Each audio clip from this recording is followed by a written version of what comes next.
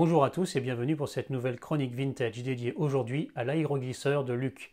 On commence, la description tout de suite. Lancé en 1978 et distribué en France fin 1983, l'aéroglisseur de Luke Skywalker est l'un des tout premiers véhicules produits avec notice de montage imprimée sur les côtés de l'emballage. Dans le coffret, on découvre un aéroglisseur dans un grand insert cartonnier pliable avec les accessoires suivants. Un véhicule, une plaquette d'autocollant, une note informative, un catalogue. Le véhicule est divisé en trois zones capot moteur ouvrable, intérieur du véhicule, pot de support pour droïde. Le capot s'ouvre afin d'accéder au compartiment moteur et sert d'espace de rangement. L'équipement du tableau de bord est représenté par des autocollants.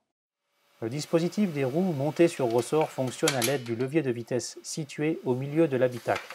La suspension simule le flottement de l'aéroglisseur. Les sièges arrière permettent de placer les droïdes derrière Luke et Ben pour voyager dans le désert de Tatooine. Avec la sortie du Retour du Jedi en 1983, Kenner voulut célébrer six ans de succès commercial avec une réédition du jouet en série limitée dans son coffret d'origine avec les normes obligatoires du moment, comme le code barre imprimé directement sur l'emballage. J'espère que cette nouvelle description vous aura plu. N'hésitez pas à vous inscrire sur ma chaîne YouTube et je vous dis à très bientôt pour de nouvelles chroniques vintage.